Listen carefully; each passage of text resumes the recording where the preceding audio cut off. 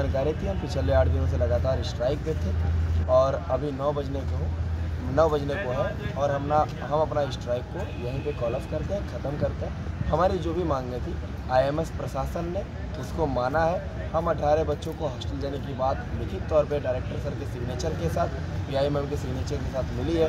बाकी जो first year और सेकेंड ईयर की बात थी तो जैसा पी आर रिलीज़ में हुआ था नोटिस में कि जिस नोटिस के हिसाब से उनको नहीं मिलना था, उसके लिए उन्होंने लिख के दिया है कि हम बाकी बच्चों को सब्जेक्ट अवेलेबिलिटी पे आगे हम हॉस्टल एकोमोडेट करेंगे।